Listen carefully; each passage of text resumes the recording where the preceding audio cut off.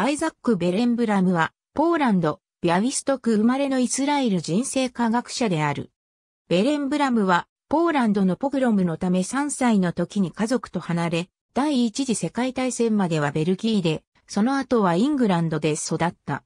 リーズ大学で生理学及び生科学を学び、1923年に学士を取得した。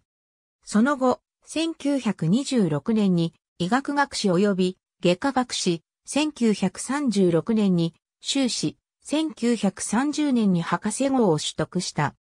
1927年からリーズ大学の Department of Biology Experimental Cancer Research でライリー、スミス Research、Fellow となり、1936年から1940年まで、オックスフォード大学のダン School of Pathology において、バイト Memorial Research、Fellow となった。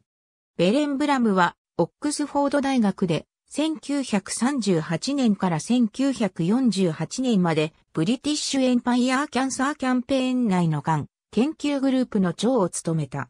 1940年から1948年まで、オックスフォードで病理学のデモンストレーターを務めた。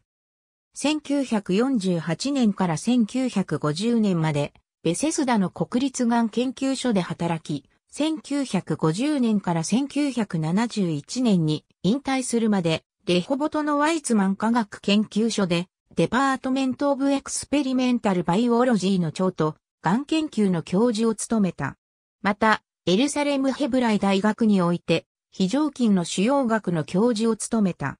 1966年にヒューストンのテキサス大学、1971年に国立がん研究所で客員教授となった。